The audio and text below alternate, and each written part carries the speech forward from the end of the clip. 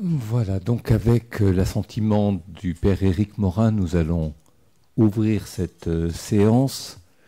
Je rappelle que sur l'ensemble de l'année, nous avons prévu, en tandem, selon les modes de fonctionnement qui maintenant sont habituels, de travailler sur quatre textes de la Torah, ce que j'appelle la Torah, c'est-à-dire le Pentateuch, et nous avons travaillé sur la ligature d'Isaac au Bernardin lors de la première séance.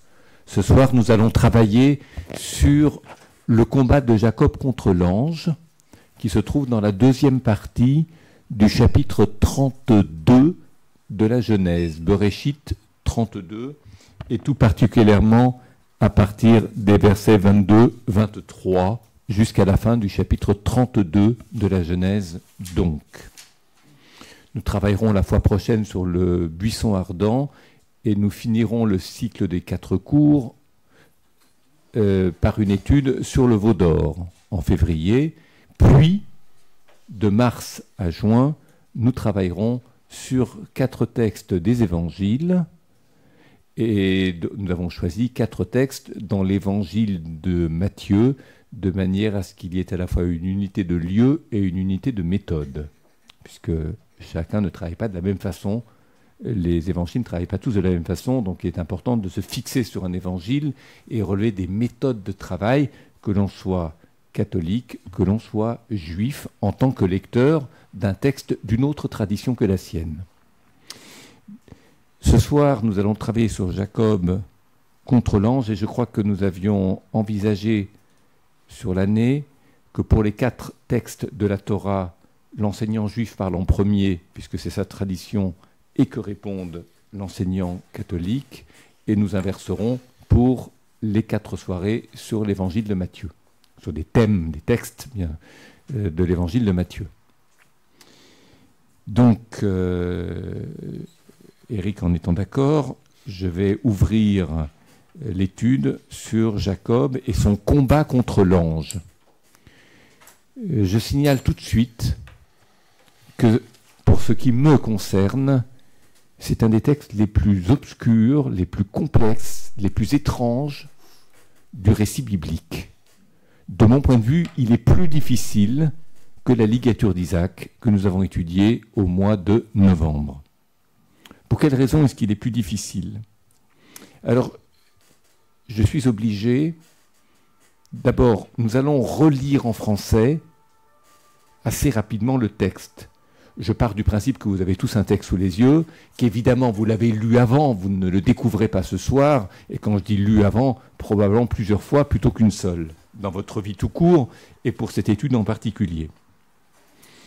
Et ensuite, je vais faire un travail analytique sur le texte, et comme on n'a pas deux heures chacun pour analyser le texte, je vais relever toute une série d'informations c'est-à-dire d'observation sur ce texte qui concourt à l'étrangeté de ce texte jusqu'à mettre ensemble des étrangetés qui convergent sans savoir tout de suite vers quoi, et du fait d'une multiplicité de convergences dont on ne connaît pas le but d'emblée, ce but va s'imposer de lui-même à la lecture du texte, sachant que une lecture commentée de ma part ne se fait pas sans instrument de travail, à savoir sans commentaire rabbinique. Ce n'est pas parce que je ne les mentionne pas pour ne pas charger en un premier temps notre étude qu'ils n'existent pas.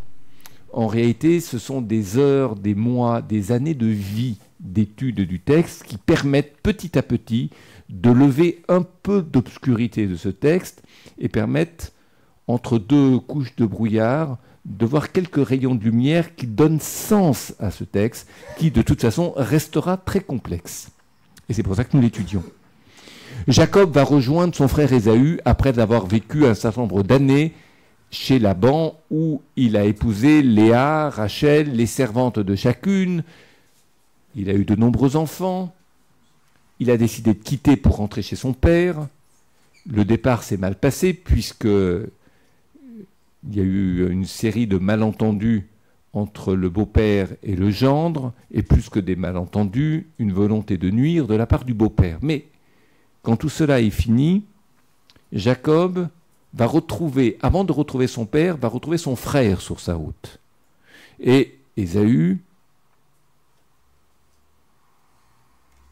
cette rencontre avec Ésaü va être précédée de deux choses.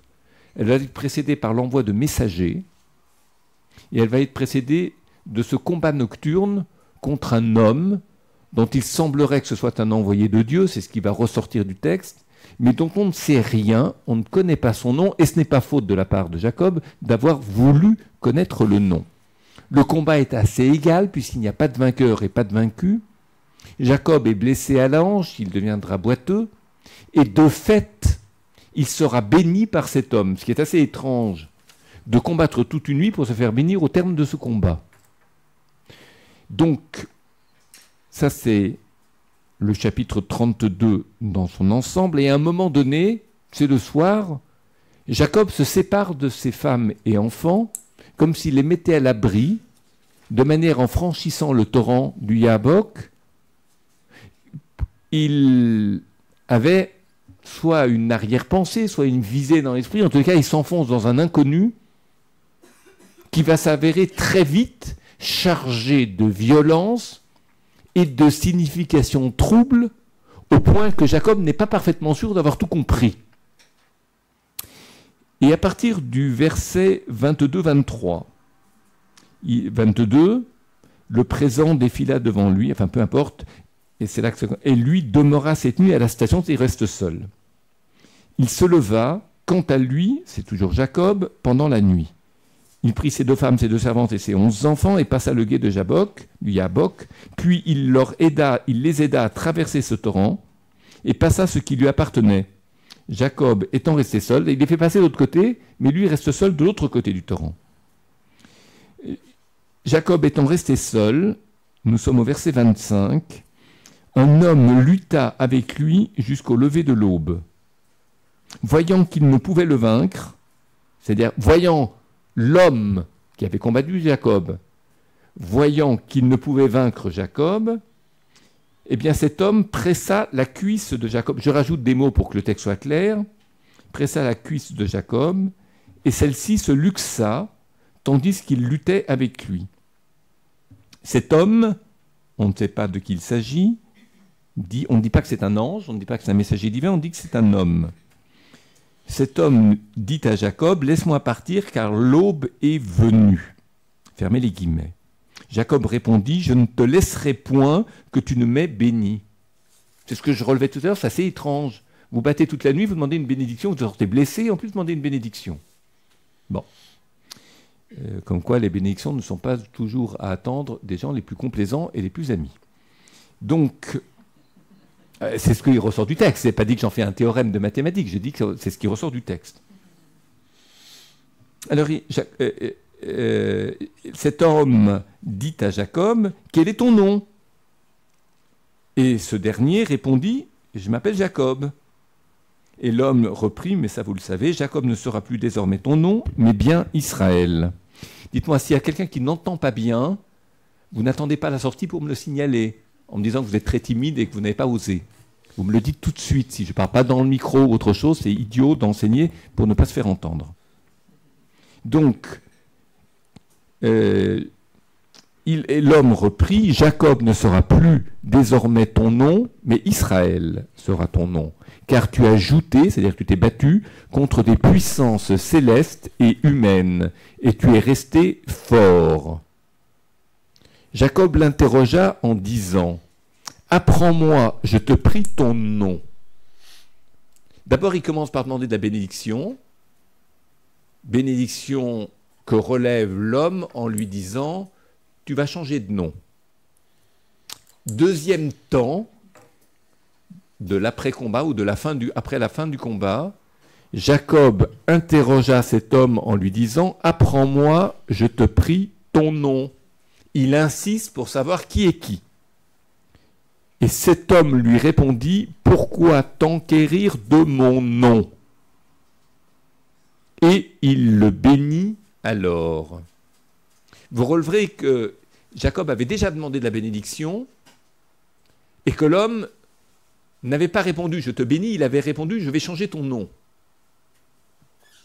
Et Jacob, maintenant, demande le nom à l'autre homme, il ne demande plus de le bénir.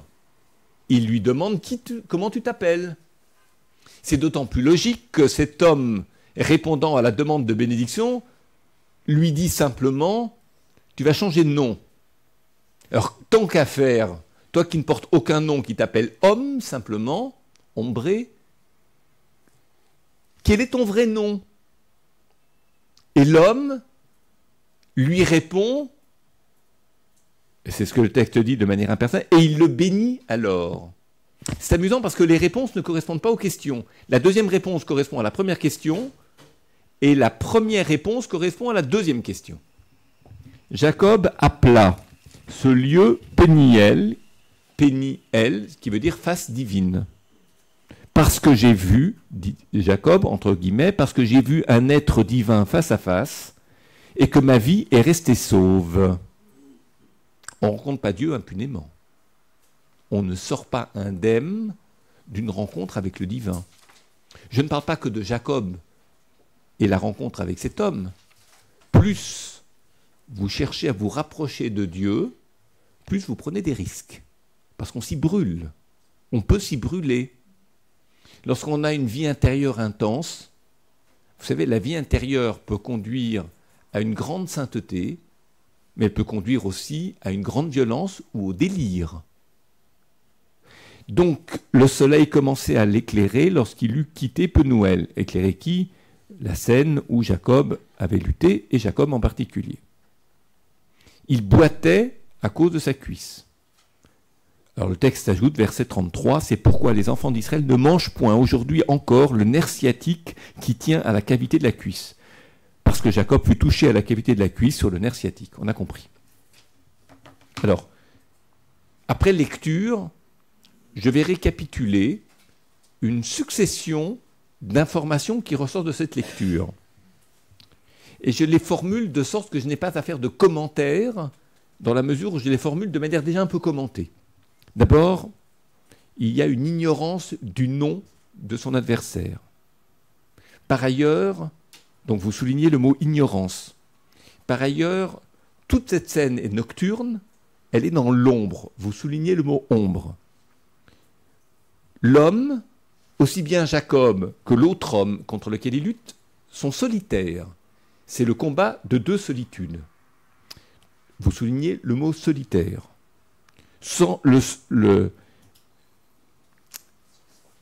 Les deux frères qui devaient se rencontrer prochainement, Jacob et Ésaü, sont séparés par la nuit, puisque après ce combat contre cet homme, ils vont se rencontrer. Donc ils auraient pu se rencontrer la veille, non, ils ne se rencontrent pas la veille, ils se rencontrent le lendemain, mais entre les deux, il y a une phase nocturne, c'est-à-dire la nuit sépare les deux frères, pas seulement l'homme et Jacob, mais Ésaü et Jacob. La famille est séparée en deux puisque Jacob met femmes et enfants à l'abri. Donc il y a une autre forme de séparation. Il y a beaucoup d'ignorance, beaucoup d'ombre, beaucoup de solitude, beaucoup de séparation. En cours de route, on change d'adversaire, c'est-à-dire qu'au départ, l'adversaire, c'était Laban, ensuite c'était Ésaü, et maintenant c'est un homme dont on ne connaît pas le nom. Il y a une succession de changements d'adversaire. Pourquoi je dis ça? Parce que cette succession de changements d'adversaire, suggère l'idée que l'adversité change de représentation. C'est-à-dire que la vie de Jacob, désormais, est d'affronter toutes sortes d'adversités. Laban, Ésaü et cet homme. Je rappelle que Jacob est désormais chef de famille. Il a déjà rencontré l'adversité avec Ésaü, sauf qu'il était sous la protection de sa maman. C'est Rebecca qui tirait les ficelles qui disait à, Isaac, son mari, qu'est-ce que tu dois dire aux enfants, qui a parlé à Ésaü et qui a parlé à Jacob. Autrement dit, elle les a mis en scène, chacun à sa façon, de manière à éviter que tout le monde se déchire. Et ils s'en sont sortis de cette façon-là. J'avance. Euh, Pourquoi s'est-il séparé des siens? J'ai parlé de solitude, je pourrais le dire autrement, peut-être pour faire le point, avant de rencontrer son frère. Vous savez, quand vous affrontez une difficulté, vous isolez. C'est-à-dire que quand, par exemple, vous avez une prise de parole difficile en public, vous ne discutez pas avec tout le monde juste avant. Vous isolez pour vous concentrer, pour vous préparer aux difficultés que cette prise de parole peut avoir. Et quand je parle de prise de parole, ce n'est pas la pire des difficultés, il peut y en avoir d'autres, mais qui nécessitent une solitude. On s'isole pour être maître de ses moyens et avoir envisagé toutes les options et toutes les conséquences possibles de ce qui va arriver. Peut-être demain mourra-t-il de ce combat. C'est pas téléphoner d'avance comme quoi il va bien s'en sortir. Quand on se bat toute la nuit, on peut être vaincu. C'est pas parce que vous connaissez la fin de l'histoire qu'il faut escamoter, c'est-à-dire effacer toutes les autres hypothèses. Voilà, comme si ça n'aurait pas pu se passer autrement. Et certains midrashim disent qu'il s'est préparé à la rencontre avec Ésaü et par la prière et par le combat. Ou peut-être qu'il y a une prière qui prépare au combat. Ou peut-être y a-t-il une prière qui est une forme de combat. Mais le combat n'est pas toujours vers l'autre, envers l'autre ou avec l'autre. Le combat peut être aussi avec soi-même. Et prier, c'est aussi se changer, changer quelque chose de soi pour affronter les autres différemment et ne pas être vaincu par les autres. Ou bien ne pas tuer les autres. On peut être vaincu ou vainqueur et ne pas s'en sortir je le souligne, ou bien euh, on peut prier parce que la lutte est intérieure et parfois on a besoin de vaincre des mauvais instincts ou des intuitions fausses ou des tendances à point de suspension. Je rappelle, pour ceux qui savent l'hébreu et pour ceux qui ne le savent pas encore, que la lutte en hébreu se dit dans le texte Yahavek, que le torrent qu'il a traversé s'appelle le Yahavok et que Jacob s'appelle Yaakov, ce qui fait quand même beaucoup de lettres quasiment identiques. Et Yahavek, c'est 100 poussiéré. Parce qu'avak, c'est la poussière en hébreu. C'est-à-dire la lutte qu'il mène contre cet homme, on ne dit pas lutter, on dit c'est empoussiéré avec l'autre. C'est pas exactement combattre, c'est s'empoussiérer. On imagine, c'est facile à représenter sur le plan artistique, la lutte de Jacob contre l'ange, vous avez un nuage de poussière tout autour d'eux, pour diverses raisons euh, que je n'approfondis pas maintenant. Alors maintenant, passons au combat, par contre. Et observons bien ce combat. Là, j'ai fait la mise en scène. Maintenant, le combat, la mise en scène générale. Maintenant, le combat, qu'est-ce que l'autre homme veut à ou de Jacob? J'ai envie de dire, dans ce texte, l'homme que Jacob rencontre la nuit, c'est l'inconnu à lever. Qui est cet homme? Quand on sait que c'est un ange ou un envoyé de Dieu, c'est facile, on a la réponse. Mais vous savez, c'est comme en histoire. Quand vous relisez un événement historique en sachant la fin, vous le relisez en tenant compte de la fin, vous donnez un sens à l'événement historique qui prend d'emblée en compte la fin de l'histoire. Mais quand vous la vivez, vous ne connaissez pas la fin. Donc votre lecture de l'événement au présent n'est pas la même qu'au passé. Nul ne le sait, pas même Jacob ne sait ce que l'autre homme lui veut. Ils se battent sans parler. Vous soulignez nul ne le sait, que lui veut-il? Sans se parler, dans la phrase ils se battent. Pourquoi je vous fais souligner des mots? Parce que vous allez vous rendre compte, en alignant sur l'ensemble de la page toutes ces petites phrases que je relève, qui sont des observations, qu'elles recouvrent une même réalité, solitude, interrogation, prière, préparation d'un combat qui ne se passe pas comme prévu, etc. L'aube se lève, laisse-moi partir. Autrement dit, fuite après un combat avec un homme dont il n'a pas vu le visage et dont il ne connaît pas le nom. Jacob semble belliqueux il pose des conditions. Il dit Tu pars pas avant de m'avoir béni. L'autre ne bénit pas, il se contente de changer d'abord le nom de Jacob. Verset 29.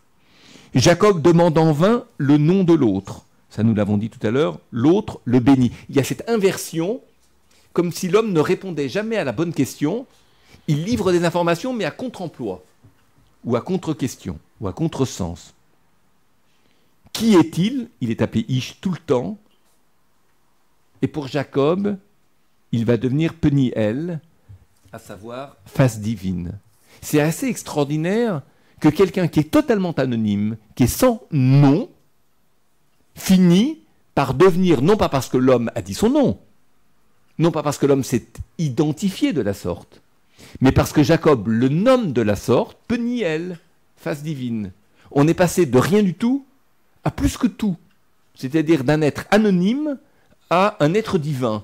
Reconnaissez qu'il y a un grand écart entre les deux, et que ce grand écart reste mystérieux, c'est-à-dire sans contenu. Sans contenu, c'est-à-dire sans les jalons intermédiaires qui permettent de comprendre comment on est passé de l'un à l'autre. Je me permets de redire régulièrement les mêmes choses dans mon propos, à savoir ce n'est pas parce que vous connaissez la fin de l'histoire que vous devez relire l'histoire dès le début en tenant compte du terme. C'est la raison pour laquelle les gens avec lesquels il est plus facile d'étudier un texte sont des gens qui ne l'ont jamais ouvert, qui l'entendent pour la première fois et qui restent curieux strate par strate, moment par moment, étape par étape. Lorsqu'on a lu mille fois un texte, comme on connaît la fin, on n'arrive plus à le lire comme quelqu'un de curieux, c'est-à-dire on ne se pose plus des vraies questions, puisque les questions sont rabattues sur la leçon finale que l'on retire de la conclusion, et elles trouvent un sens qui n'est en fait que le reflet de la conclusion. Mais ce ne sont plus de vraies étapes, ce ne sont plus de vraies questions. Si vous connaissez la réponse, en mathématiques ou en physique, ça ne vous donnera pas une bonne note. Ce qui importe, c'est la démonstration. Vous pouvez copier sur le voisin, voir la réponse, mettez la réponse. Ce n'est pas pour autant que vous avez. Ce qui intéresse le, correcteur, c'est voir comment vous avez démontré, comment s'est opérée votre recherche, et à la limite, même si vous faites de petites erreurs en cours de route, c'est beaucoup moins grave de se tromper en cours de route que de ne rien démontrer du tout. Bon. Parle d'erreurs, pas de contresens, mais des étourderies. Ceci étant, je reviens à Jacob, l'épisode est troublant parce que les protagonistes de ce combat nocturne ont plus qu'un seul nom, l'un et l'autre, finalement. Les mots semblent signifier plus qu'une chose, puisqu'il n'y a pas de réponse aux bonnes questions et pas de question appelant la bonne réponse. Chaque question en appelant une autre, je l'ai dit. L'impression de rester en deçà, c'est comme si on restait derrière un écran qui est un peu impénétrable. C'est-à-dire qu'on a des éléments de réponse, mais ils n'arrivent jamais au bon moment. C'est-à-dire qu'on a l'impression qu'on arrache des parcelles de vérité, mais qui ne sont jamais placées en adéquation avec l'attente. Ah, l'attente est l'apostrophe. On a l'impression que ce que le texte nous révèle de l'un et de l'autre, et en particulier de l'autre homme, contre lequel Jacob a lutté, nous sont livrés sans qu'on sache exactement pourquoi elles ne sont livrées et à quelles questions elles répondent. C'est en ce sens que cet épisode est troublant, j'ai envie de dire d'abord, de poser la question qu'est-ce que c'est qu'un nom et pourquoi le changer? Évidemment, si vous êtes nourri de traditions bibliques, vous savez que ça existe dans la Torah, que ça arrive souvent, enfin plus qu'une fois. Maintenant, ce n'est pas parce que vous le savez que cela fait sens pour vous. Est-ce que vous changez de nom, vous? Est-ce que vous avez changé de nom? Comme disait l'un de mes amis, moi je porte deux noms. Je porte mon nom et celui de mon père. C'est vrai. Mon nom c'est Gilles, le nom de mon père c'est Bernheim. Bernheim c'est toute une histoire passée. Gilles, c'est simplement une relation que le père a voulu, ou les parents ont voulu instaurer avec l'enfant, qui devient son propre prénom, plus à moi. Mais le nom de famille, il est porté par euh, toute une lignée, le prénom, il est porté que par une seule personne.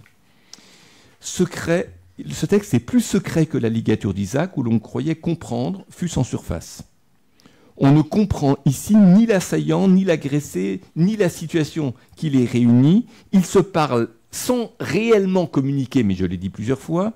Les questions ne correspondent pas aux réponses, je l'ai déjà dit. Les mots, les coups, les compléments, tout relève de l'irrationnel ici. À savoir, c'est comme une sorte de parenthèse qui est peut-être inutile, mais, non mais qui n'est pas insignifiante. Cette parenthèse, elle semble inutile. À quoi elle sert finalement?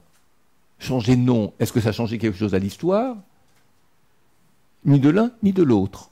Autrement dit, on n'a pas une impression d'utilité, c'est-à-dire ça n'a pas d'immédiate efficacité. En plus, quand vous sortez blessé avec un nom différent, la question est de savoir quel nom vous allez utiliser dans la vie. Et blessé, vous êtes affecté. Donc vous, vous, prenez plus de risques en étant blessé qu'en étant en bonne santé pour les épreuves à venir.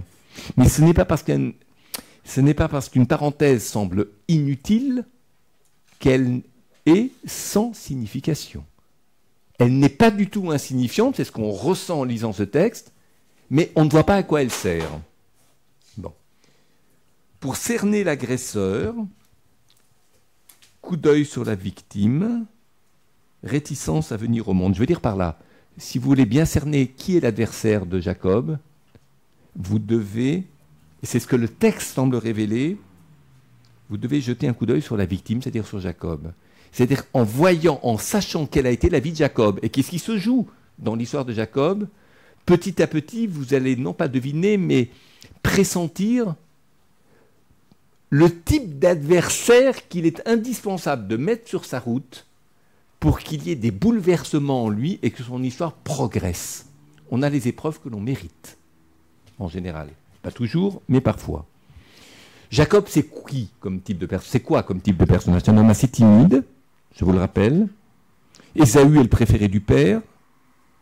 La mère est conductrice du dessin de Jacob, c'est elle qui lui dit quoi faire. Il y a une fuite de chez Laban, une aventure romanesque avec les femmes, là-bas, ça, fait plaisir d'entendre ces histoires de femmes. On peut en faire un roman, comme, comme Thomas Mann a fait un roman de, Joseph et ses frères. Là, on pourrait faire un roman de Jacob et de ses, et de ses femmes. Et les enfants qui lui causent du souci puisque l'histoire entre Joseph et ses frères sera longue à se dénouer. Il y a trois événements qui forcent sa légende.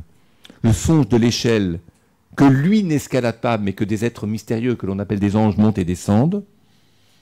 Il y a un don reçu mais pas sollicité, et un secret qu'il veut révéler sans y parvenir, qu'il veut voir révéler sans y parvenir.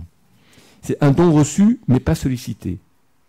C'est-à-dire, il reçoit un changement de nom alors qu'il attendait une bénédiction. Donc il n'a pas sollicité le changement de nom, il a sollicité et reçoit autre chose. Don reçu, mais qui n'avait pas été sollicité. Et puis il y a ce secret qu'il veut révéler sans y parvenir. C'est quoi le secret? C'est à la fin de sa vie, lorsqu'il bénit ses enfants, il voit la fin des temps, et il veut le dire à ses enfants, mais il n'arrive pas à le dire, et le texte ne le livre pas. Reprenons le récit, versets 24 à 31. Ce texte évoque ce que l'on appellerait un poème mystique. Moi, ça me fait penser à un poème mystique. C'est-à-dire qui est par moments pas très cohérent, à peine intelligible, et à peine intelligible pour les personnages eux-mêmes. Pourquoi le visiteur nocturne attaque-t-il On n'en sait rien. Pourquoi est-ce qu'il attaque Jacob alors qu'il ignore son nom? Pourquoi le visiteur nocturne tient-il à connaître l'identité de Jacob? Pourquoi le visiteur refuse-t-il de donner sa propre identité? Pourquoi répond-il à des questions par des questions? Pourquoi, quand il n'a plus de questions, change-t-il de sujet? Je parle de l'homme contre lequel Jacob combat la nuit. Et Jacob se laisse faire il pourrait être heureux de s'en être débarrassé au point de faire de cet homme Dieu. Lorsqu'on a échappé à un grand danger, on est tenté de magnifier sa propre action et aussi la stature de son adversaire. Il n'est pas arrivé à le vaincre, il n'est pas vaincu, donc subsiste une forme de bienveillance puisqu'il n'a pas été vaincu, mais comme il n'est pas vainqueur, euh, on s'est dit, euh, ça laisse planer une énigme sur la nature de ce combat, et donc sur les identités, et donc il peut être à même de, transformer ce mystère en quelque chose de mystique, et transformer quelque chose de mystique en quelque chose qui relève de la rencontre avec le divin. C'est ce que semble faire Jacob, puisqu'il appelle ces endroits Peniel. C'est un des épisodes les plus cryptiques de la vie de Jacob, et j'ai envie de dire de la Torah. Jacob, en soi, et c'est assez intéressant de le relever, je dis parfois plusieurs fois la même chose pour vous imprégner de mes relevés, c'est-à-dire des choses qui me semblent importantes dans le texte. Et en les écoutant plusieurs fois à des moments différents de mon propos, ça, va vous rester, comme on dirait, collé à l'esprit. Jacob est inférieur à Abraham. Abraham, c'est un pionnier. Isaac, c'est un survivant de la ligature d'Isaac. Jacob, c'est un suiveur. Il suit ce que sa mère lui dit de faire. Jacob je dirais, il est touchant. L'histoire avec ses femmes, c'est assez touchant. Il y a aussi quelque chose de mélodramatique dans les faire tromper par, euh, la femme qu'il aime, qui est remplacée par une autre femme, à laquelle Jacob donne euh, Rachel donne des signes pour qu'il se trompe. C'est-à-dire, euh, Léa est dépositrice des signes de reconnaissance de Rachel pour que Jacob ne la reconnaisse pas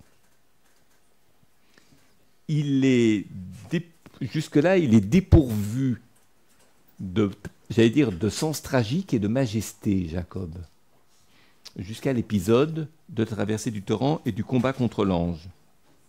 Il profite de la faiblesse d'Ésaü pour lui racheter son droit d'aînesse. Il se fait passer par son frère sur conseil de sa mère pour recevoir la bénédiction qui est donnée à l'autre et qui lui revient maintenant, dit-il. Et ensuite, il fuit et ensuite, il est trompé par Rachel, et ensuite, il est trompé par Laban. Il fuit Laban en s'en allant. Et maintenant, grande épreuve, traversée du Yabok, et la lutte contre l'ange, contre cet homme. Il est souvent peu capable d'initiative ou, ni de capacité à prendre des décisions seul. Il a souvent besoin d'être pris en main, d'être conduit par d'autres. Jusque-là. Mais maintenant, Jacob fait ce que sa mère lui a dit de faire, à savoir, il s'agit, plus tard, lui avait-elle dit, de se réconcilier avec son frère, de retrouver son frère. Or, le problème, et ça c'est un relevé du Midrash, c'est qu'il est très difficile d'être le fils d'Isaac, et le Midrash dit parce que Isaac est un survivant de la ligature d'Isaac. Et être le fils d'un survivant, est une chose très difficile. C'est très difficile de faire histoire après quelqu'un qui a survécu.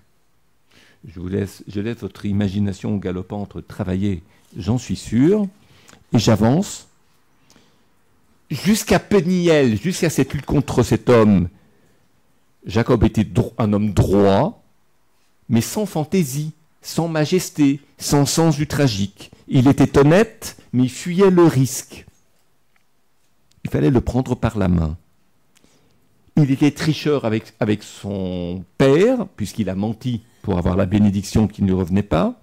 Et il est tricheur avec son frère, puisqu'il le trompe en, en reprenant son droit d'aînesse dont il ne sait pas nécessairement quoi faire. Pense-t-il à se racheter maintenant d'un passé ou d'un passif qui faisait de lui un être jusque-là sans grande envergure?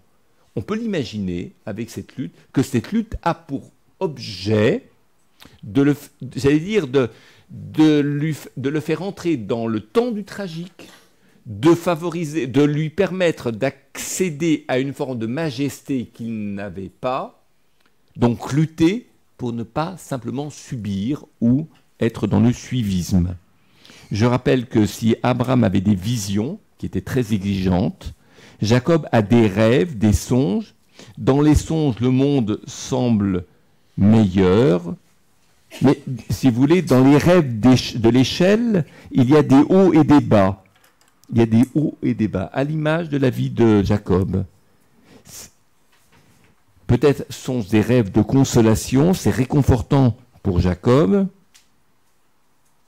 mais cet homme, Jacob, qui se laisse guider jusque-là, réconforté, et même par Laban, il, se laisse même fouiller par Laban pour prouver qu'il n'a pas volé les pénates. C'est lui, Jacob, qui va inaugurer la lignée d'Israël. Il n'a ni la puissance d'Abraham, ni la la vision même tragique d'Isaac, et même à Peniel, contrairement à Abraham et contrairement à Isaac, il est loin de s'affirmer.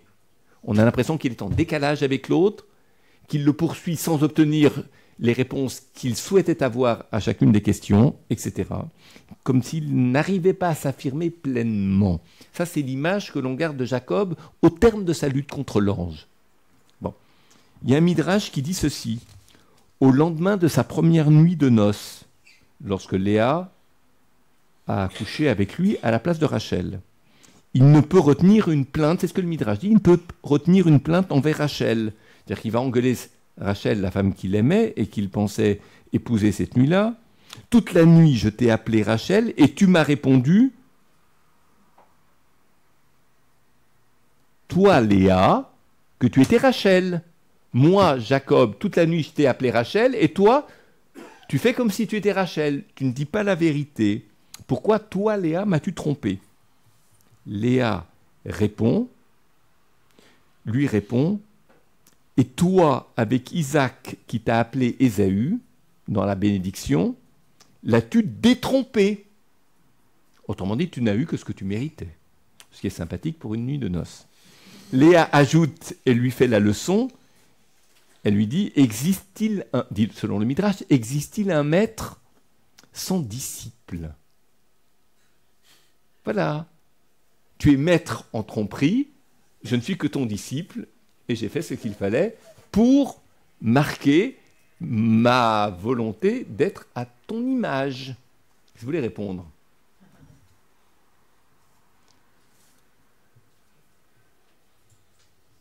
Il y a un autre midrash qui est un peu plus méprisant à l'égard de Jacob, qui met dans la bouche des femmes ceci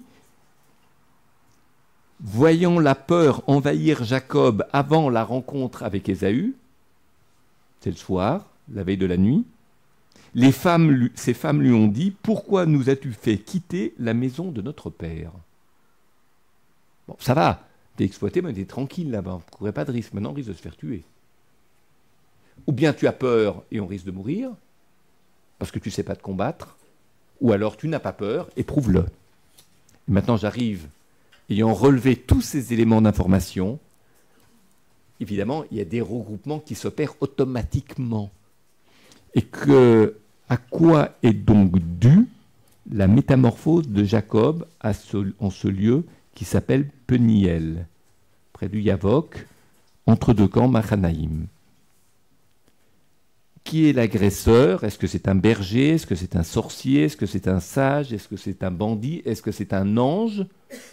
Rien ne nous permet, dans les propos de cet homme, de le savoir. En fait, en ce lieu qu'est Peniel, il y a ce que l'on appelle une épreuve, c'est-à-dire une sorte d'entraînement pour celui qui jusque-là ne savait pas affronter des situations contraires, qui les subissait.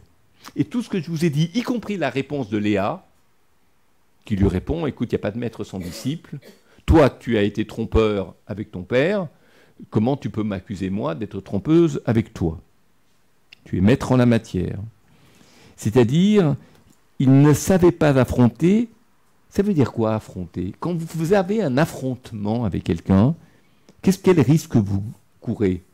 Soit d'être tué par l'autre, physiquement ou symboliquement, soit de tuer l'autre. Ce qui est très difficile, c'est en fait de combattre c'est-à-dire la possibilité d'une victoire sur l'autre qui est dépouillée, c'est-à-dire pure de toute mort et de toute culpabilité.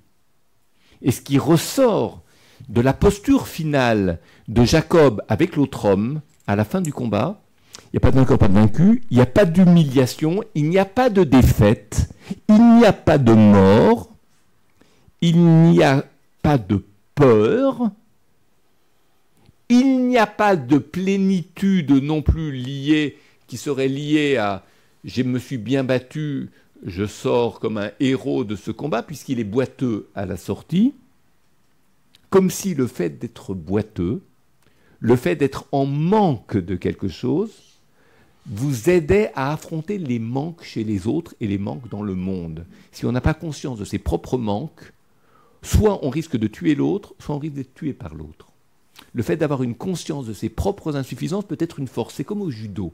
C'est-à-dire vous permet d'accepter de créer un manque chez l'autre sans le vivre sur le mode de la culpabilité. Parce que si vous le vivez sur le mode de la culpabilité, vous risquez de mourir plutôt de créer un manque chez l'autre et donc d'être tué par l'autre. Ou l'inverse, mais ça je l'ai dit tout à l'heure. C'est-à-dire qu'en fait commence ici l'idée ou la possibilité d'une victoire pure de toute mort, de toute culpabilité, une victoire qui n'implique pas la défaite de l'adversaire, qui n'implique pas son humiliation, qui est en fait une victoire sur soi-même. Et c'est la raison pour laquelle le, un midrash va dire euh, l'autre homme contre, contre, lequel il s'est battu, c'est peut-être pas l'ange d'Ésaü, c'est peut-être pas un adversaire, c'est peut-être son propre ange. Alors c'est facile, qui fait l'ange fait la bête, vous connaissez cet adage, donc à partir de là, c'est assez facile de transformer ce midrash en leçon, je dirais, en enseignement global.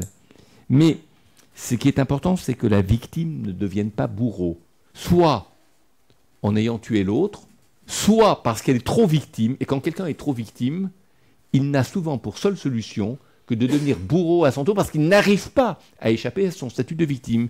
Des gens qui sont victimes de génération en génération et qui finissent non seulement à s'identifier aux victimes, mais qui à un moment donné, sentant qu'ils ne peuvent pas échapper à leur statut de victime, pensent que la seule solution possible, c'est de devenir bourreau, c'est-à-dire de faire ce que l'autre vous a fait comme les gens qui sont pédophiles parce qu'ils ont été violés par leurs parents. C'est ce qu'on entend au cours d'assises, par exemple.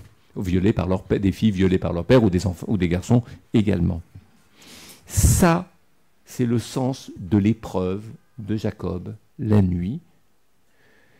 En fait, j'ai terminé, ce que nous avons fait ensemble, c'est un relevé lent, assez complet des éléments d'information qui ressortent de ce texte, tels que les commentaires rabbiniques, et ils sont très nombreux parmi les commentaires rabbiniques que j'ai utilisés, j'en ai utilisé beaucoup, pour être aussi exhaustif que possible sur le texte.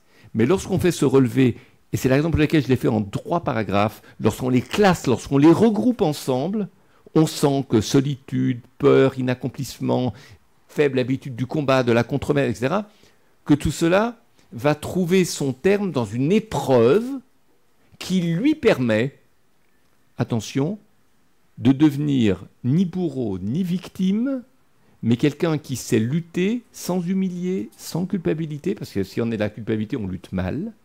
Si on est bouffé par la culpabilité, par les états d'âme, on ne peut pas faire la guerre. Parce qu'on pense à quoi? On pense à survivre. Quand vous faites la guerre, vous ne pensez pas qu'à survivre psychiquement ou physiquement, vous pensez à défaire l'autre pour le tenir à distance. C'est ce que va faire Jacob ici. Donc, il apprend petit à petit cette possibilité d'une victoire pure de toute mort, de toute culpabilité, mais pas sans manque, sans blessure, une victoire qui n'implique pas la défaite de l'adversaire, ni son humiliation de quelque côté que ce soit, une victoire sur soi-même. Et je conclus, que la victime ne devienne jamais un bourreau. Et à cette condition finale, ce que j'ai dit dans la dernière minute, ramassé dans la dernière minute, à cette condition-là, Jacob devient Israël. Autrement dit, ce que l'on apprend là, c'est la définition de l'être Israël. Israël, c'est celui qui sait combattre dans les conditions que nous avons évoquées dans notre conclusion. Voilà en un premier temps ce que je voulais partager avec vous dans la lecture de ce texte. Cher Père, cher Éric, à vous de jouer. Merci Gilles. De tout, quand nous avons arrêté la. Bonsoir d'abord à tous. Quand nous avons arrêté la liste, il était évident que c'était le texte dont j'étais le plus étranger au point de départ. J'ai à peine été rassuré par le commentaire de Gilles au début en disant que pour lui aussi, c'était un texte, obscur. Alors, j'ai moi aussi essayé de faire mon petit relevé des éléments constitutifs de, cette histoire. J'ai été beaucoup moins, fouillé dans le détail. Et qu'est-ce qu'on m'a aimé? Peut-être que cette première remarque que je vais faire va euh, reprendre et rebondir sur la conclusion de Gilles comme définition d'Israël. Finalement, cette histoire, il s'agit de franchir un fleuve. Il y a une intervention divine qui est difficile à confesser, il s'agit de devenir Israël, de recevoir une bénédiction et de rentrer en terre promise. Si ce n'est pas un résumé de l'Exode, je ne sais plus bien quelle est l'histoire de l'Exode. Et donc on a effectivement, enfin j'ai euh, lu là un texte qui finalement, à travers l'histoire d'un patriarche, rassemble toute l'histoire du commencement du peuple même d'Israël. Et donc donne une, définition, une vocation, une, identité euh, à ceux qui vont devenir les fils d'Israël. D'où l'importance de ce texte peu, peu présent dans, dans, la tradition chrétienne, ou en tout cas dans, dans la catéchèse, euh, dans la prédication aujourd'hui. Ce qui est dommage. Autre élément important, c'était, et là je vais être assez rapide, dans la Bible, on nous raconte un autre endroit, où, euh, le, même épisode, de manière très allusive, c'est le prophète Osée, au chapitre 12, les versets 4 à 7. Euh, le prophète Osée, au, IXe siècle, euh, s'en prend à, l'Israël du Nord, le royaume du Nord, les tribus d'Éphraïm, les tribus qui sont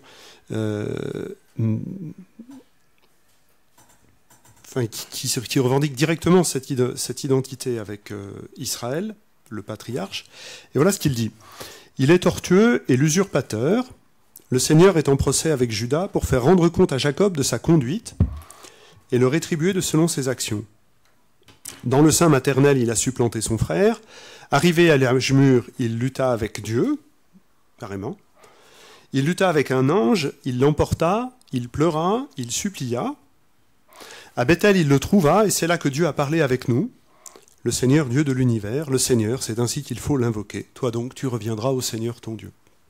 donc l'histoire de Jacob sert euh, principalement pour le prophète à dire que ben finalement le, peuple est, toujours dans une conduite euh, d'usurpation tortueuse à l'égard du Seigneur, que le patriarche, lui, a fait une expérience forte à Bethel, c'est euh, Genèse au chapitre 28, et que c'est ainsi qu'il faut revenir à Bethel, parce que c'est là le point de départ de, la bénédiction. Alors si on remet, comme nous y invite euh, le prophète euh, Osée, bien ça en, rapport avec l'épisode de, la révélation à Bethel, à, l'endroit où Jacob dit Dieu était présent et je ne le savais pas, il n'y a pas d'immédiateté de la présence, et le commentaire que Gilles vient de nous offrir euh, renchérit encore sur cette vérité. L'épisode de Bethel commence par cette phrase Le soleil se couche. L'épisode que nous lisons ce soir termine par Le soleil se lève. Est-ce que ça ne veut pas dire que finalement tout ce qu'il y a entre les chapitres 28 et 32 n'est qu'une longue nuit?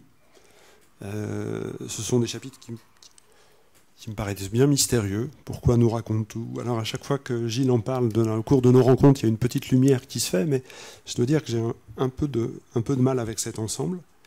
Une longue nuit dans laquelle euh, la bénédiction faite à Jacob et la bénédiction promise à Jacob Voici, je suis avec toi, je te garderai partout où tu iras, je te ferai revenir vers cette terre, car je ne t'abandonnerai pas jusqu'à ce que j'ai accompli tout ce que je t'ai dit.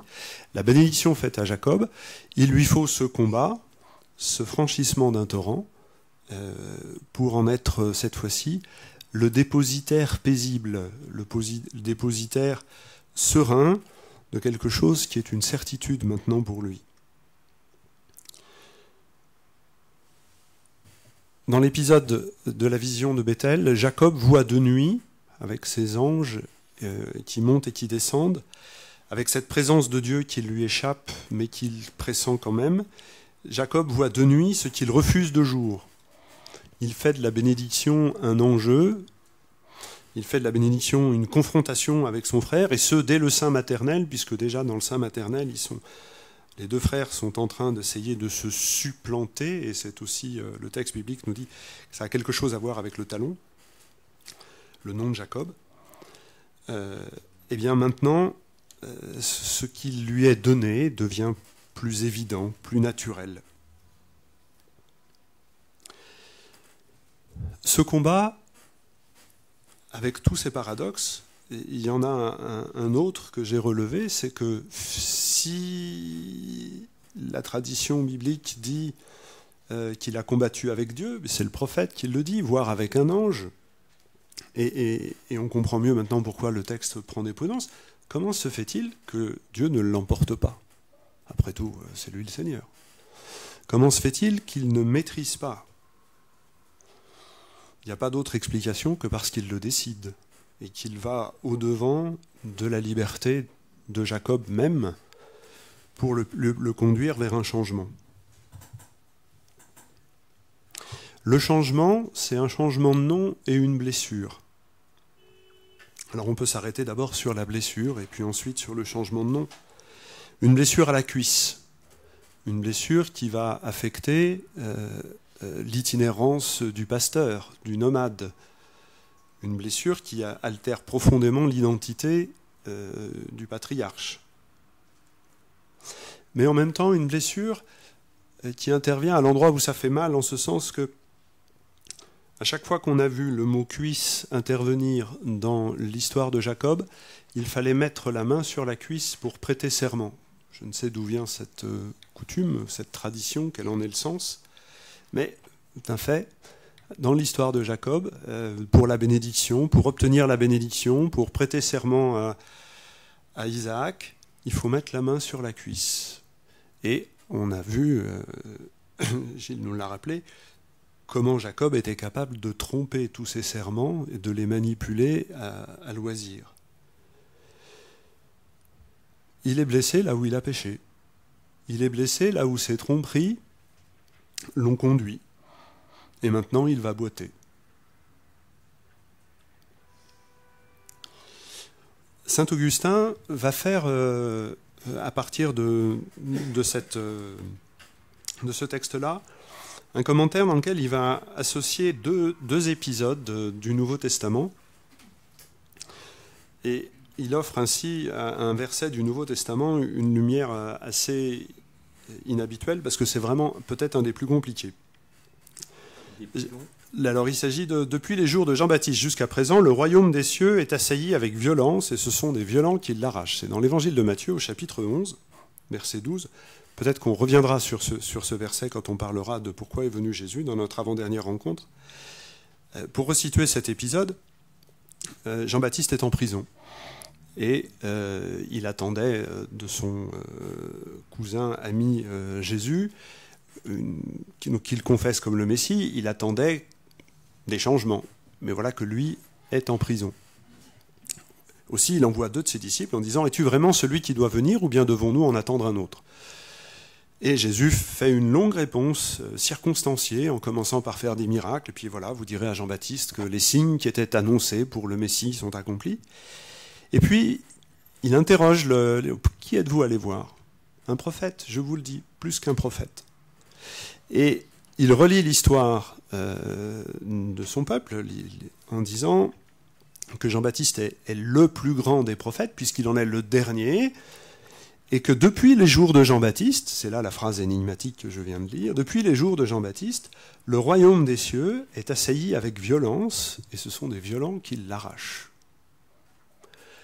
Euh, une interprétation qui a souvent été euh, avancée pour comprendre ce verset, c'est d'y voir une critique contre ce parti des Zélotes, qui était un parti euh, qui progressivement s'est détaché des pharisiens, revendiquant la lutte armée contre les Romains pour euh, avancer, non pas pour instaurer directement, mais pour avancer euh, l'instauration du royaume de Dieu, pour provoquer l'intervention divine euh, et, l'instauration du royaume. Mais saint Augustin se détache complètement de cette, cette interprétation historicisante et qui pose d'autres problèmes, euh, notamment quant à l'existence d'un parti euh, zélote euh, constitué déjà au temps de Jésus. Par la suite, oui, mais déjà au temps de Jésus, ça reste plus problématique. Et Saint Augustin fait le lien, ou plutôt essaye d'éclairer deux obscurités l'une par l'autre. Il prend le texte de la Genèse, le verset de Matthieu, et il lui apparaît du coup que la lutte est nécessaire pour le royaume. En ce sens-là, il ne s'écarte pas du sens du texte si celui-ci c'est bien effectivement de dire qu'est-ce que c'est qu'être un fils d'Israël? Quelqu'un qui a franchi la mer Rouge, quelqu'un qui par une intervention divine reçoit une bénédiction, devient Israël et peut ainsi entrer en terre promise. Ça n'est pas sans combat que cela se fait. Reste à, identifier le combat qui ne peut évidemment pas être un combat physique et militaire. Un bénédictin du Xe siècle, un bénédictin belge, Rupert de Dutz, euh, lui parle explicitement, mais il est fidèle à la tradition bénédictine, il, parle explicitement du combat de la lecture des Écritures, dans leur ensemble, Torah, prophète, euh, euh, psaumes et, tous les, évangiles et, les, autres écrits. on sait, on sait que la lecture est un combat, qu'il faut faire passer des heures et des heures, que comme nous l'avons vu dans la présentation que Gilles vient de nous en faire, trouver le bon mot, le bon nom euh, est une activité euh, longue, lente, euh, qui exige bien des obscurités, bien des nuits aussi parfois. Et donc le, combat avec l'ange est quelque chose d'absolument essentiel pour comprendre la mystique de celles et ceux qui veulent recevoir le royaume. En tout cas, c'est l'interprétation que saint Augustin en fait, en mettant ça en regard avec le verset de, Matthieu. Il y a une violence qu'il faut exercer, euh, violence contre soi, violence euh, de la solitude, qu'il faut exercer pour arriver au royaume. Alors du coup, on peut en, en revenir à, la question de la blessure, et Augustin fait le lien avec un, autre texte, euh, mais cette fois-ci de, Saint Paul, en parlant de l'écharde dans la chair, dans la deuxième lettre aux Corinthiens. Euh, de quoi s'agit-il? Paul fait lui-même une expérience mystique, euh, qui, pour une fois, il accepte de la raconter en en disant pas grand-chose, puisqu'il dit qu'il n'a pas envie d'en parler, qu'il n'a pas le droit d'en parler, et pour éviter qu'il ne se comprenne comme étant supérieur à ce qu'il n'est réellement, euh, bien qu'ayant fait cette expérience mystique exceptionnelle, il porte en lui une écharde dans la chair, une blessure, euh, qu'il a prié par trois fois, euh, le Seigneur de l'en écarter, et que par trois, le Seigneur lui a répondu Ma grâce te suffit, la puissance se déploie dans la faiblesse. là aussi, on a un parallélisme assez étonnant. Expérience de la présence de Dieu, avec le patriarche, blessure qui va accompagner euh, le patriarche tout au long de sa vie, et, pour, et bénédiction, grâce, bénédiction, c'est pas exactement la même chose, mais on peut les mettre en analogie euh, quand on veut mettre les deux épisodes en parallèle. Là encore, l'apôtre et le patriarche nous disent que la rencontre avec Dieu ne peut pas être sans affection, sans être affecté, sans être devenu autre sans être altéré, sans être blessé.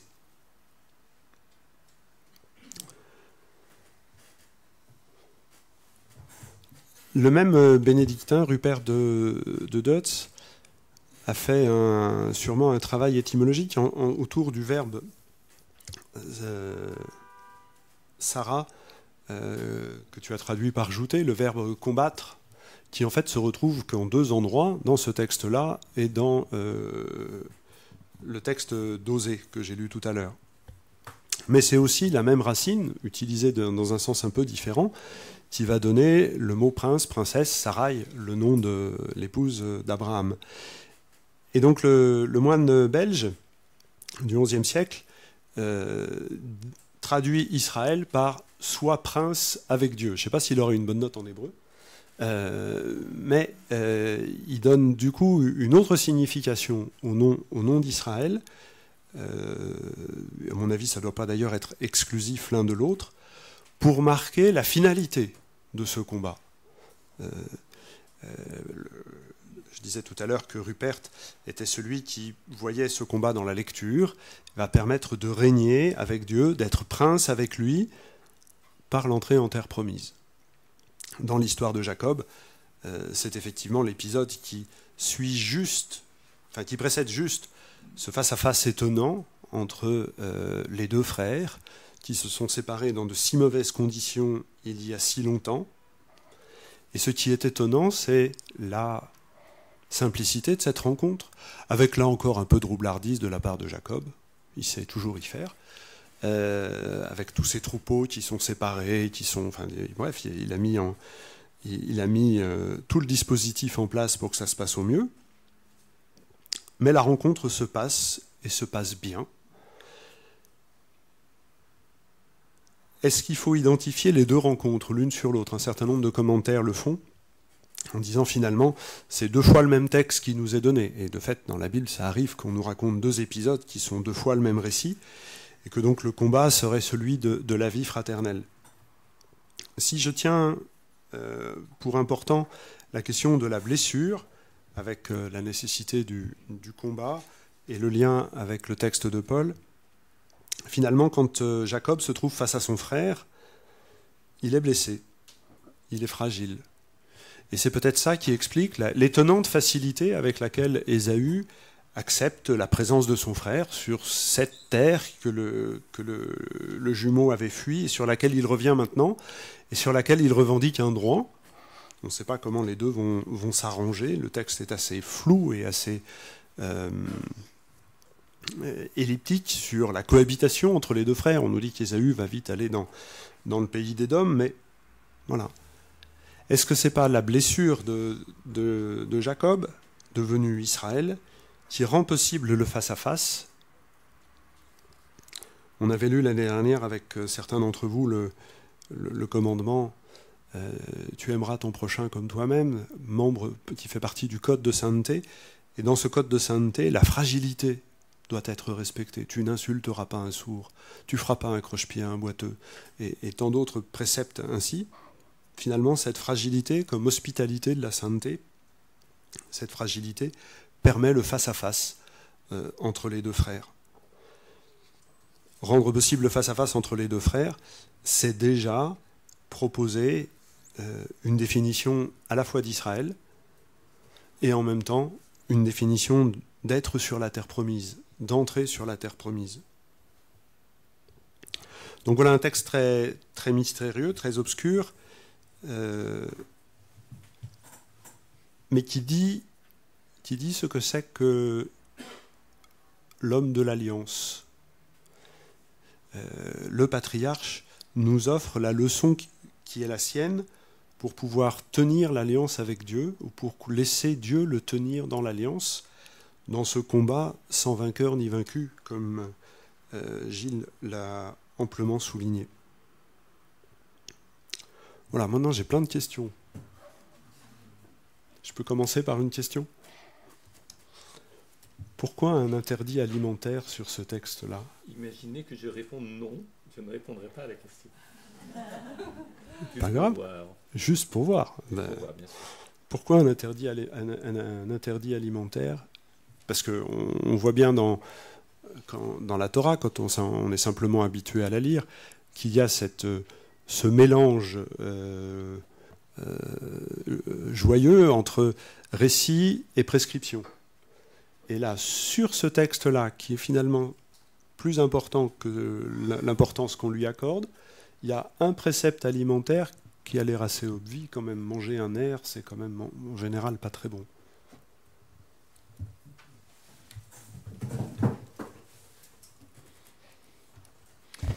Vous aurez compris que manger un air, euh, c'est pas très bon, c'est vrai, mais sans être euh, trivial, on s'en fout. Que ce soit bon ou non, parce que c'est sur le registre symbolique que cela se joue, et pas sur le registre culinaire.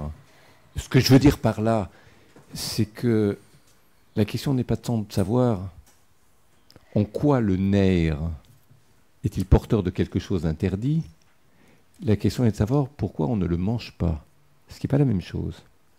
Quand il y a un interdit alimentaire, on est focalisé sur l'objet interdit. Dans la tradition juive, dans la tradition rabbinique, on n'est pas focalisé sur l'objet interdit, mais sur le verbe, sur l'acte, ne pas manger. Et ensuite seulement ne pas manger le nerf sciatique. Alors c'est quoi ne pas manger? Manger, c'est s'approprier, c'est répondre à son besoin, à, un besoin qui est le nôtre. C'est-à-dire, ce qui est autre devient nôtre. On efface le statut d'altérité en l'autre, serait-ce un nerf sciatique ou d'autre chose, ou l'arbre de la connaissance ou d'autre chose. On ne mange pas parce que mange, il y a des choses qu'on ne mange pas parce que cet acte est non seulement réducteur, mais il réduit l'identité de ce qui est autre à rien. Alors vous allez me dire, à ce moment-là, on n'a pas le droit de manger. Non, c'est pas ça. Ce que l'on n'a pas le droit de manger relève d'un registre symbolique qu'il faut bien identifier. Lorsqu'on parle de nerf sciatique ici, il aurait pu toucher autre chose, été interdit il aurait été interdit de le manger. Donc ne passez pas le reste de votre existence à comprendre pourquoi le nerf sciatique, comme si derrière le nerf sciatique, il y avait toute une symbolique de... Alors bien sûr, ça touche à la sexualité, d'accord. Je ne crois pas du tout d'ailleurs que ce soit essentiel ici, ce lien avec la sexualité. Je ne crois pas. C'est quand on ne sait pas quoi répondre qu'on cherche des connotations qui permettent de dépasser l'événement pour penser à autre chose. En réalité, le nerf sciatique, c'est le lieu de l'handicap. Et le lieu de l'handicap est ici très important.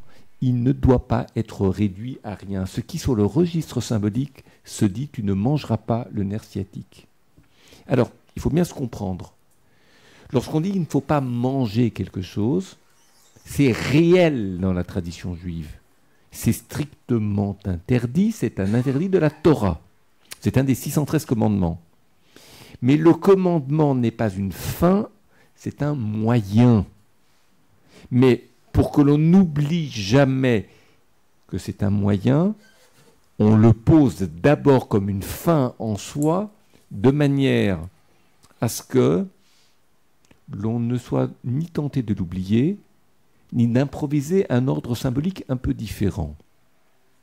À savoir que c'est toute la problématique de Jacob blessé qui est pensé dans un acte qui consiste à ne pas manger ce nerf sciatique, mais ne pas le manger, c'est dire, c'est pas simplement le maintenir en intégrité. Quand on ne mange pas quelque chose, c'est pas un réflexe écologique. C'est pas simplement pour laisser la nature telle qu'elle, il ne s'agit pas de la toucher, il ne s'agit pas de la réduire à rien, il ne s'agit pas de la consommer, donc il ne s'agit pas de la consumer, cette nature. Il s'agit d'entretenir avec elle un rapport juste. Ne pas manger, c'est entretenir une relation à l'autre autre que celle de la dévoration. Prenons l'exemple entre deux êtres humains ou entre un homme et une femme. Cette notion de d'éducation, elle est facile à comprendre. C'est-à-dire on peut dévorer l'autre dans une relation. On peut se servir de l'autre pour répondre à ses propres besoins. Mais l'altérité de l'autre, on n'apprend pas en compte. C'est ce que l'on appellera ne pas manger l'autre. Lorsqu'on apprend à lire, on apprend à ne pas manger le livre. On entretient avec le livre un rapport de lecture qui donne à penser et qui ne fait pas l'objet d'un réflexe de dévoration, parce qu'il y a des gens qui ne lisent des livres ou qui n'écoutent des cours que parce que ça répond à leurs besoins à eux. Mais ces gens-là ne sont pas dotés d'une très grande vie spirituelle, puisque par définition, la vie spirituelle, c'est une vie qui fait bouger vos lignes, et qui fait que votre appétit est changeant en fonction des circonstances.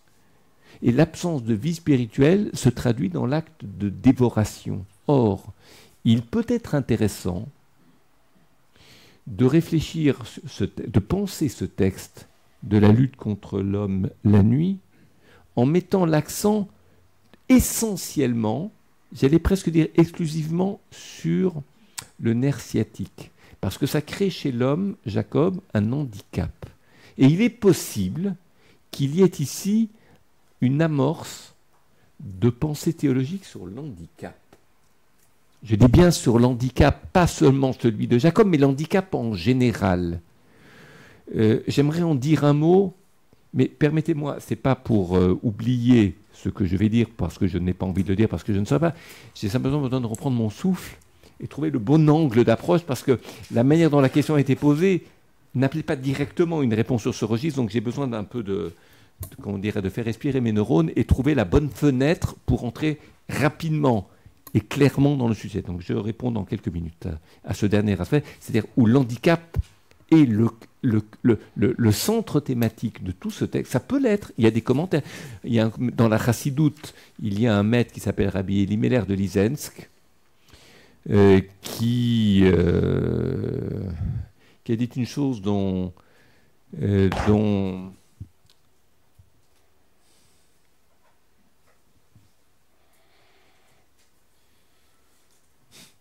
il y a des noms ou des mots élémentaires qui me sortent de la. J'oublie au moment où je vais les dire, ça. Début de la vieillesse, ça. Euh,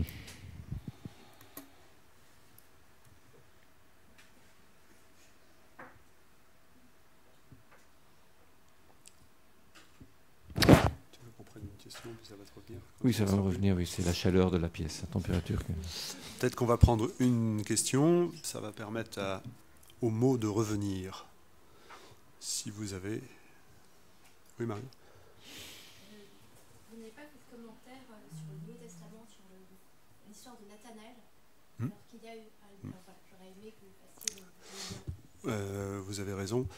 Euh, dans l'Évangile selon Saint Jean, à la toute fin du premier chapitre, euh, il se produit une chaîne de rencontres, euh, puisque André euh, rencontre Jésus parmi les disciples de Jean-Baptiste, il va chercher Philippe, qui va chercher Simon, il va chercher son frère Simon qui devient Pierre, il va chercher Philippe, et puis ils vont chercher Nathanaël. Et il y a dans la rencontre avec Nathanaël, qui termine le chapitre premier de l'évangile de Jean, il y a d'abord une réaction de Nathanaël. Comment ça De Nazareth, qu'est-ce qui peut sortir de bon?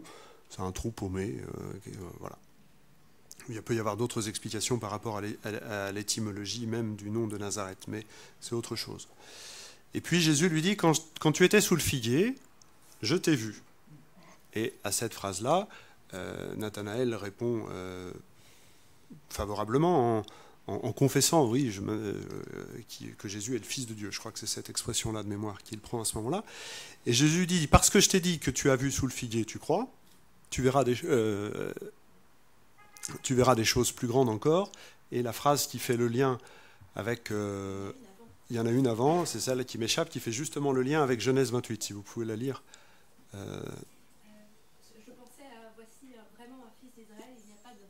Il a pas de, alors voilà, voici un fils d'Israël. Il n'y a pas de ruse en lui. Et puis il y a une allusion à l'échelle de Jacob. et, les, et les anges qui montent et qui descendent.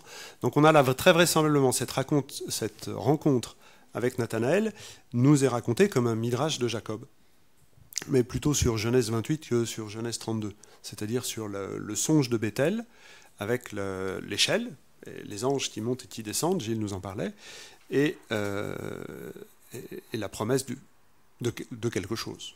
Et Jésus adresse une promesse en disant, écoute, voilà, on s'est reconnu, mais il y a quelque chose de bien plus important à voir. Et dans l'économie du récit euh, que Jean nous propose, ça va bien évidemment être euh, la mort et la résurrection euh, de Jésus dont il nous fait le récit à la fin. Donc c'est un texte qui est, important, mais c'est plus Genèse 28 que le combat de Jacob. mais ça montre surtout que cette histoire de, du tortueux euh, qui devient droit, et que cette histoire des noms euh, dont, Gilles nous a parlé avec tant de force, reste extrêmement prégnante pour l'interprétation de la figure du patriarche. Mais la, la rencontre, identifier strictement les deux rencontres, ne fonctionne pas. Mais qu'effectivement, il y ait d'une rencontre à l'autre une pédagogie, une progression, euh, et que l'une rende possible l'autre et que l'une prend son sens avec l'autre, oui, mais c'est pas deux fois la même chose. C'est pas deux fois la même chose. La théologie du handicap. Je suis resté concentré sur les raisons pour lesquelles je perdais la mémoire. C'est pour ça que je n'arrivais pas à retrouver le nom et ça m'angoissait. Ce prêtre, qu'a-t-on fait pour les pauvres Le Père Pierre, L'abbé Pierre, voilà. Là où j'en suis. Bon. oui, mais c'est plutôt inquiétant pour la pathologie. Euh, c'est. Je, reviens à l'histoire de l'handicap. Si vous prenez le texte à l'envers, c'est ce que Elimelech de Lizensk, dans la Chassidoute, le rabbi Elimelech de Lizensk au XVIIIe siècle, au début du XIXe siècle, fait c'est tout au milieu du XVIIIe siècle, c'est tout l'apprentissage de la personne handicapée. Une personne qui est handicapée physiquement doit apprendre à se restreindre. Si vous voulez, elle doit consentir à restreindre son champ d'action. Elle doit apprendre à consentir, c'est une éducation à consentir à restreindre son, son champ d'action, de mouvement, pour éviter d'être agressée en permanence par le monde et par le foisonnement des choses qui, pour certaines, lui sont inaccessibles. C'est-à-dire que ce qu'un handicapé apprend, c'est à consentir à sa propre réalité. Accepter de vivre, de mettre l'handicap au cœur de cette réalité, de manière à ne pas se heurter à la réalité parce que l'handicap n'a pas été posé à la bonne place. Il doit aussi renoncer à une image de toute puissance, l'handicapé. Et il doit dépasser le sentiment de sa propre inutilité, l'handicapé. Et vous comprendrez combien il est important de faire passer un handicapé par des lieux qui sont à l'écart de toute emprise sociale, où il peut s'éduquer à ça sans être agressé socialement par le monde, par la réalité, par les autres. Pourquoi je vous dis ça?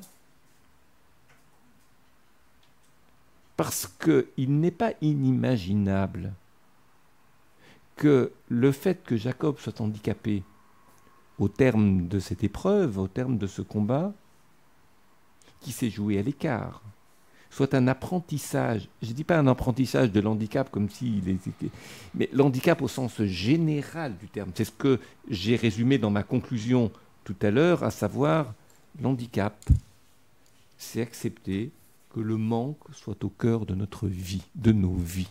Il n'y a pas de vainqueur, il n'y a pas de vaincu, on porte une blessure, on n'humilie pas, il n'y a pas d'inutilité, etc. Le manque est dans ce cadre-là, le manque est au cœur. Et ça, c'est un apprentissage. Et il est très possible, très imaginable que ce combat soit un apprentissage de Jacob à devenir ce qui fera de lui Israël, à savoir quelqu'un